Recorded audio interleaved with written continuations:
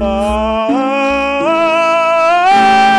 chiquino, baby, chiquino, baby, please stand ciao, please stand ciao, come on, come on, come on, baby, now. Meu inglês continua ruim, ruim mesmo, muito frau.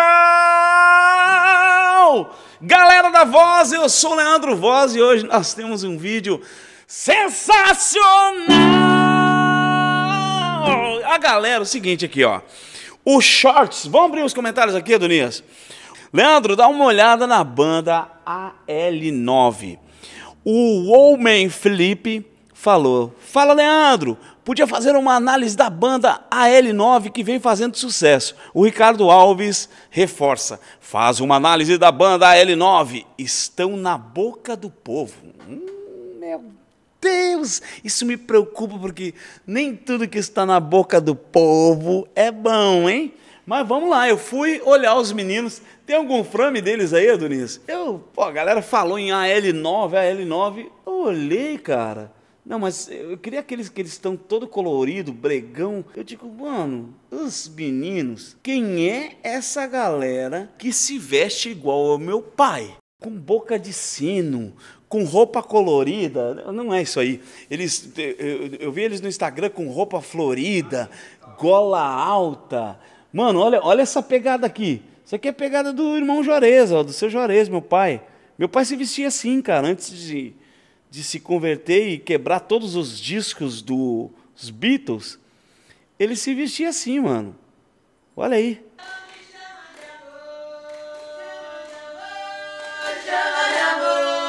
Lembra de abrir esse vídeo aí que eu quero falar desse vídeo depois. Boa, vamos lá! Antes da gente continuar, te inscreve no canal, ativa as notificações, deixa teu like, teu comentário com coração, me chama de lindão e compartilha esse vídeo com a sua galera. Vamos fortalecer a galera da voz. Pra quem quer cantar bonito.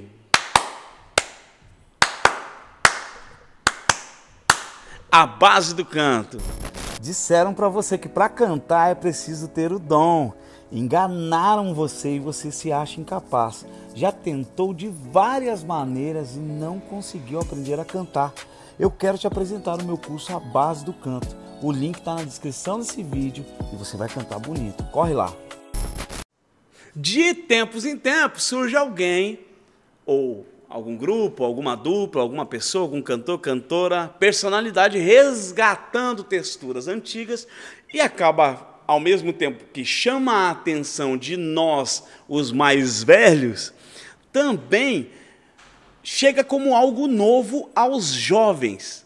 E é o que está acontecendo com a banda AL9, que eu não sei se é banda ou se é dupla, eu sei que tem os dois meninos ali. E tá rolando isso. A galera, os jovens estão enxergando como algo novo, diferente. E nós, os velhos, sabemos que isso já existiu, essa textura. Agora, a minha dúvida é: realmente cantam? Eis a minha curiosidade, acredito que é a curiosidade da galera, mas também sei que tem a galera da voz que já sabe se eles cantam ou não. E eu quero que vocês me digam, comenta aí, cara, eles cantam bem? Na percepção de vocês, os meus alunos que estão aí do Base do Canto, vocês sabem que eu gosto de instigar vocês à percepção musical. Eles cantam bem? Nós vamos ver agora. Vamos tirar as nossas dúvidas.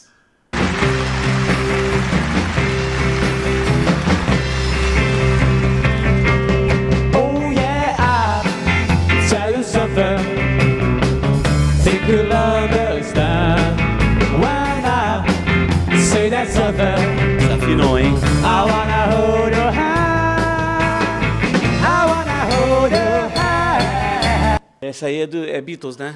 Essa é Beatles. Não é uma tarefa fácil, não é fácil de realizar. As guitarras estão desafinadas, jovens. As guitarras estão desafinadas.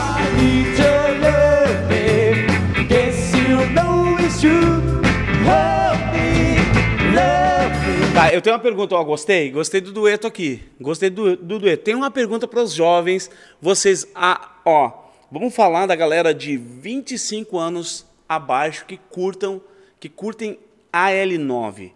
Você, com menos de 25 anos, você gosta desse tipo de música ou você gosta da personalidade deles? Que, cara, é, é muito legal ver eles, o, o, a, a figura, a foto, a fotografia, é muito legal. Mas eu, eu tenho 44 anos, falar sobre a minha percepção é saudosismo demais, entende? Não dá, é, é pracinha demais. Pô, tu já teve uma guitarra assim, né? Eu já tive, aham, eu tive exatamente essa aqui, ó. Cara, essa guitarra é sensacional, cara. It's been a hard day's night. Ó, dá pra ver nessa cena, Donias. Por que, que eu fiz essa pergunta? Porque esse público aqui não vai fortalecer esses meninos. Eu acredito que eles estejam pensando em longevidade da carreira.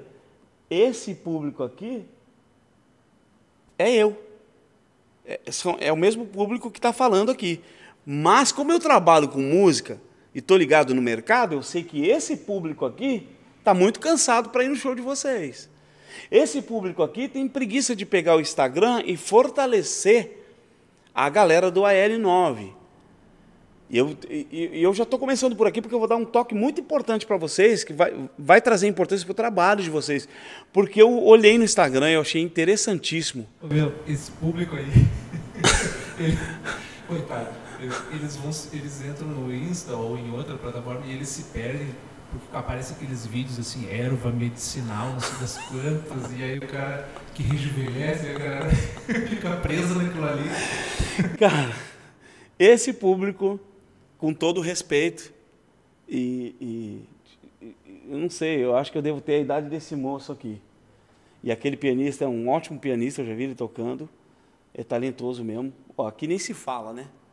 Mas não é o público que vai que vai fortalecer. Mas daqui a um pouco a gente vai falar sobre isso. Eu quero ouvir a voz dos meninos.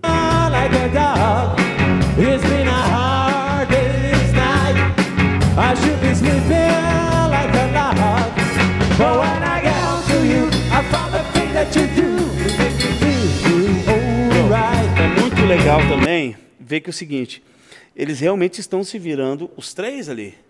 É o guitarra, o baixo e a batera. Isso é uma coisa rara, tá? Mas isso aqui falando em show business também. E, e por que, que eu estou falando nisso, né? Porque, cara, a gente tem que começar a dar dica para a galera nesse sentido. Tem muito talento escondido que não sai do lugar porque não consegue entender isso. Precisa de mais pressão nisso, cara. Precisa botar um Hammond aí. Precisa colocar mais elementos para fortalecer o som de vocês, gente. Vamos em frente. And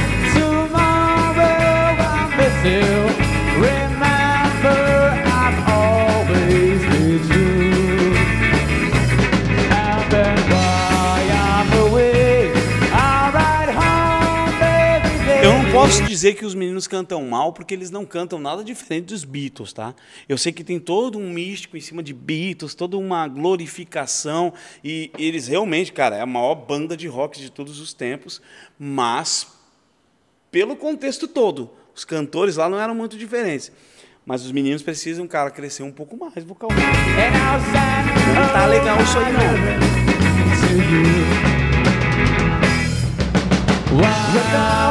to you. When I was younger, so much younger than today.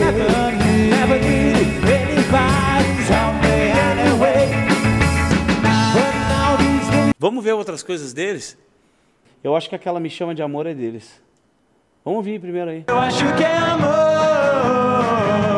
É deles. Eu posso dizer,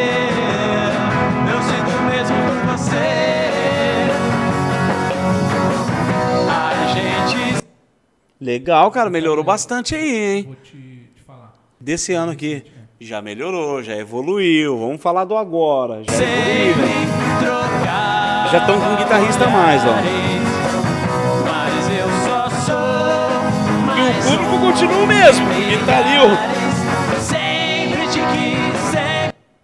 O público continua o mesmo. Eu vi a mesma peruca ali. Acho que as ervas medicinais. Eu achava fake. Tu achava que era. Vou... Deixa eu rodar quando passar neles ali, tu dá Te pausa. amei, mas nunca tive coragem. Ó, o telefone pra contato aí. Te dizer Aham.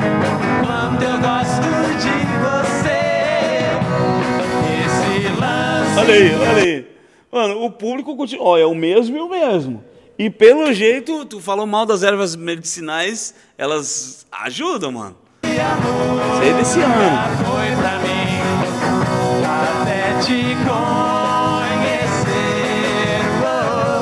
Legal a música dos meninos, viu? Parabéns. Muito legal mesmo. Abre lá um Instagram lá, quero ver aquele vídeo deles. Mas, galera, tem que afinar, gente. Vocês vocês estão bem desafinadinhos, tá? Vai o recado aí pra galera que é fã. Tá bem desafinadinho. Tem que afinar. Afinação é algo importantíssimo. Só, só toca aí, vamos.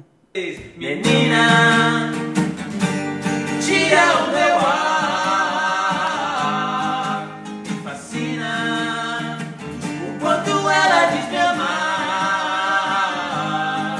Interessante, cara.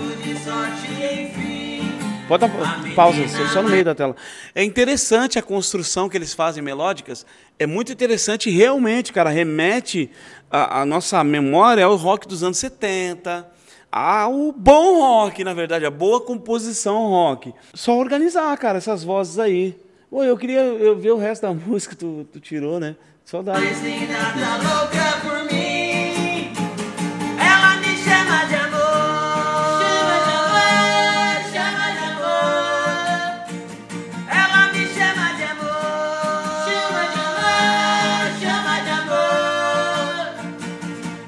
A música é boa, a música é boa. É, quem é louco por eles, que foi o, o primeiro que me mostrou, foi o Índio, o Gabriel Vitor, dos, dos Agroboys. E ele me, me mostrou como algo, nossa, caralho, esses caras. Só que a gente sabe que a percepção do índio lá é lá aquelas coisas, né? Tá tudo certo, ele pode gostar. Os guris realmente são, são sensacionais, cara, no que diz respeito à construção do que eles fizeram. É algo realmente diferente para os dias de hoje. Precisa adaptar para não ficar só tocando para veiarada, mano. Pelo amor de Deus, eu sou velho, eu posso falar. Eu tô, tô na mesma na, na mesma escadinha que eles, eu posso falar. Porque a gente tem preguiça de ir no show. A gente tem preguiça de sair de casa.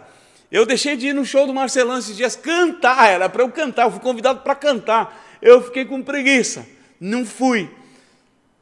Deus me castigou ainda, que eu fui no show do, do Felipe Araújo, ele me chamou e me deu uma música que eu não sabia cantar para eu passar vergonha.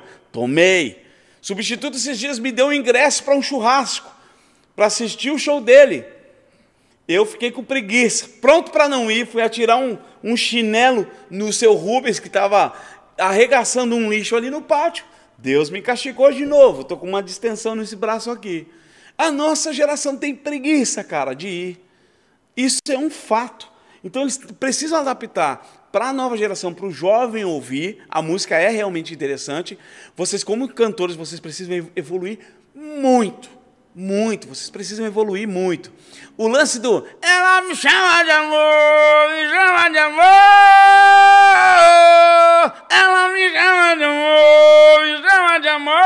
Tá muito Bob Esponja o jeito de cantar. Dá para explorar um pouco mais o timbre de vocês. Não são meninos ruins.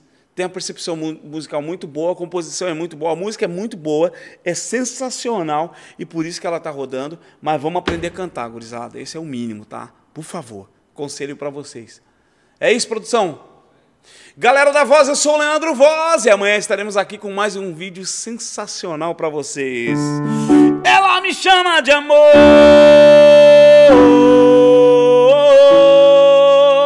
Ela me chama de amor, me chama de amor, me chama de amor. Ga- gaúcho galopando, me chama de amor.